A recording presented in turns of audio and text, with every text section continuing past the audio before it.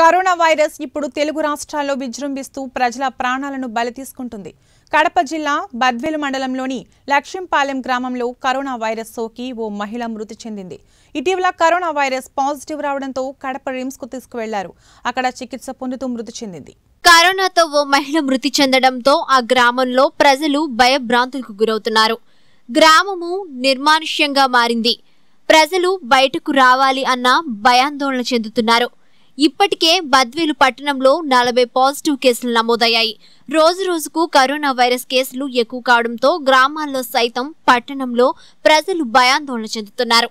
ఈ corona virus వల్ల ఏమి చెయ్యాలో అర్థం కాక ప్రజలు దిక్కుతోచిన స్థితిలో ఉన్నారు.